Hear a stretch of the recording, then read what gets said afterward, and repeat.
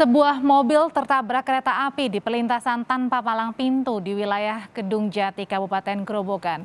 Dari rekaman CCTV, mobil tengah melaju pelan namun tertabrak saat hendak menyeberang.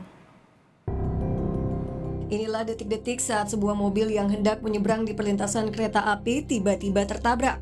Peristiwa yang terjadi di wilayah Kedung Jati, Kabupaten Grobogan, Jawa Tengah ini sempat mengejutkan warga sekitar.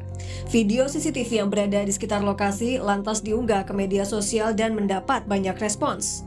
Mobil itu tertabrak kereta api Joglo Semar dari arah Solo menuju Semarang.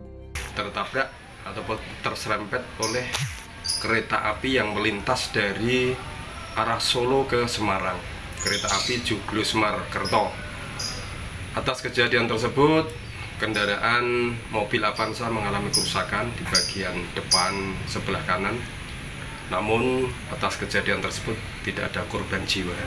Diduga sopir mobil yang masih remaja itu lalai dan tak melihat kondisi jalur kereta api sehingga mengakibatkan kecelakaan.